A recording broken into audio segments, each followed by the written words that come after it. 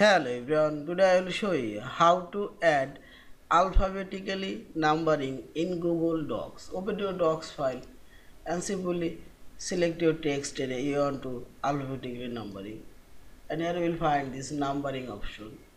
This is click on this triangle option. Here you will find this alphabetically numbering option. This one. See this also select here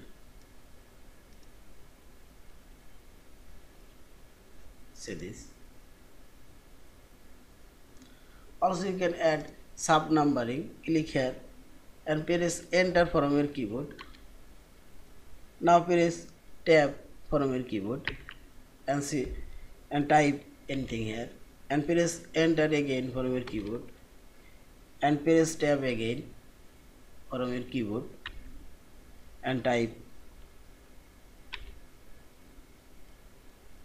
Again press enter and press tab from your keyboard and type and see this.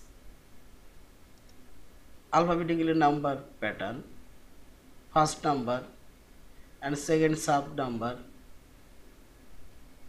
and third roman numeric number and again third number starting from number. Yeah. In this way you can also add sub numbering yeah. Thank you for watching. Please subscribe like share and comments